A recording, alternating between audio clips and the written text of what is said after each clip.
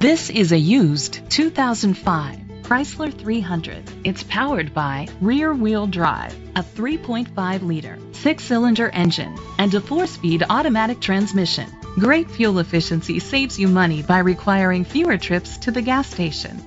The features include a power sunroof, electric trunk, leather seats, heated seats, steering wheel controls, premium rims, dual temperature controls, a tilt and telescopic steering wheel, a navigation system, power seats.